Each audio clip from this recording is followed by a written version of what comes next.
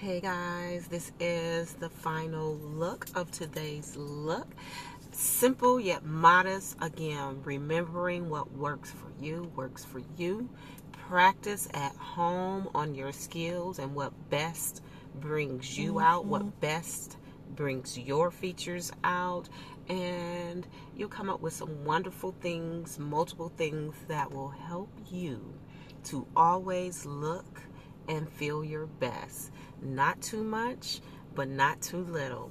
Even on the modest days. Again, guys, subscribe to my channel and also hit the bell and share and the like button, guys. Please and thank you. I am Fitness and Evolution. I'm also known as Fit Life with Romona because I am a certified personal trainer, and I'm also an independent beauty consultant with the wonderful world of Mary Kay. So, subscribe, guys. Have a great day.